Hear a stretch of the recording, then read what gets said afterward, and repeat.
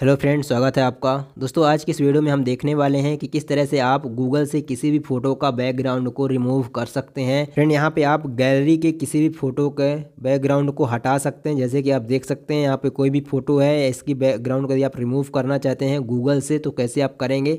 इस वीडियो को आप कंप्लीट देख लीजिए तो आपको यूट्यूब पर दूसरी वीडियो इस टॉपिक से रिगार्डिंग नहीं देखनी पड़ेगी। और हाँ यदि चैनल पर नए हैं तो सब्सक्राइब ज़रूर कर दीजिएगा। जैसे आप देख सकते हैं, मैं यहाँ पे सर्च करता हूँ।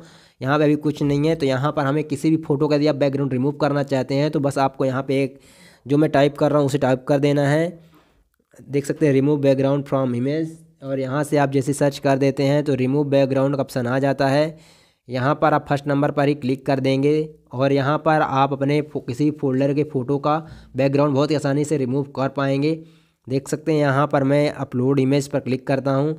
यहाँ पर आपके सामने ब्राउज़ का ऑप्शन आ जाता है। यहाँ पर हम ब्राउज़ के ऑप्शन पर क्लिक कर लेते हैं। गैलरी आ चुका है। गैलरी के यहाँ पे हम क्लिक कर लेंगे। गैलरी के जिस भी फोल्डर का आपको फ़ोटो लेना है, उस फ़ोटो को हम सेलेक्ट करेंगे।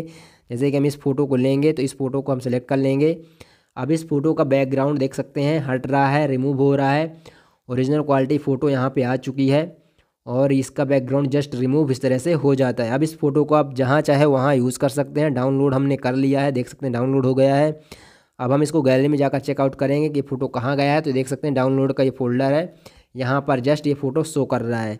अब इस फ़ोटो को आप कहीं पर भी यूज़ कर सकते हैं, कहीं पर भी लगा सकते हैं, ठीक है?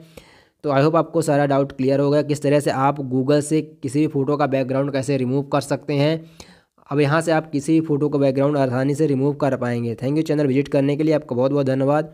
यदि आप चैनल पर नए आते हैं चैनल को सब्सक्राइब कर लीजिए। इससे हमें भी काफ़ी मोटिवेशन मिलता है और हम आपके लिए ऐसे ही कंटेंट लाते रहते हैं। धन्यवाद चैनल विज़िट करने के लिए आपका बहुत बहुत धन्यवाद।